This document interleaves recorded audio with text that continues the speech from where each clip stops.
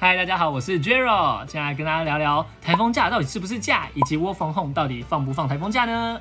咪咪咪咪，突突突突突突。根据天然灾害发生事业单位劳工出勤管理及工资给付要点的第七点，雇主除了当天的工资要照给，宜加给劳工工资。其实台风假主要是避免劳工在往返公司的过程中而发生的风险以及事故，所以才放了台风假。其实台风假不一定就是一定要放，就像日本他们就完全没有台风假的规定嘛。那大家就会想说，哎，那我们最近因为疫情而居家办公，或是有分流工作，那究竟我们的台风假要怎么放？